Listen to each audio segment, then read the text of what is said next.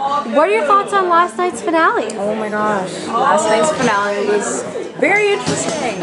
Um, you know, I really had Tim for the win. I was really rooting for him to win. Um, to see Kelsey go out there and put it all on the line and work for herself was actually amazing. I was really happy for her.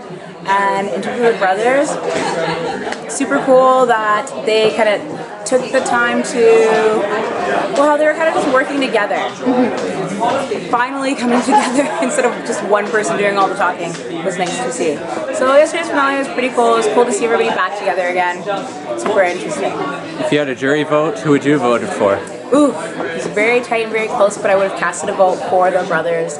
They were comp beats. Beasts, they walked into the house as a target from the jump and came in on top. So was it disappointing for you that you were evicted prior to the wild cards who had already gotten a chance to compete in Big Brother in their respective countries? I actually, it was disappointing to be evicted, period. Yeah. Whether it was before or after wild cards, wasn't really crossing my mind. Interesting point that you brought that up. but really, um, my eviction was really was not fun. I thought that it was really loose. I didn't think that I deserved it, but you know that's just how things played out, and I was so happy to return back to my home. and you said Tim would have been your winner, correct? Yeah. And why do you think that he deserved to win if he'd got to the end? Oh my gosh, Tim was so much fun to watch. He was 100% himself. I don't feel like Tim was like lying, backstabbing. He had a lot of really good conversations, and he used to just tell people to their face, like, this is what it is, this is what's going on, this is what I think about you. And I'm all about that. He was very honest, good discussions, had fun.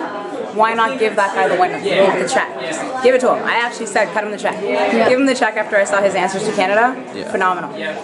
So how do you think the season would have played out had you not been evicted? Ooh, good question. um, I think that if I had stayed, I would have played a game where I was kind of a little bit more off the radar, still building those relationships, still hanging out with people, and I think I would have made it pretty far. I mean, I don't think that the eviction would have happened very soon. I think it would have lasted. So maybe even one, maybe even one. even though you had to leave earlier than you'd hoped, what yeah. did the whole experience mean to you? It was definitely eye-opening for me. I learned a lot about myself. I learned that I'm very self-sacrificing. I really need to pull it in more and look out for me more. And I also learned a lot about the world. It's not everything that you think it is all the time. And uh, it's just really important to stay true to yourself.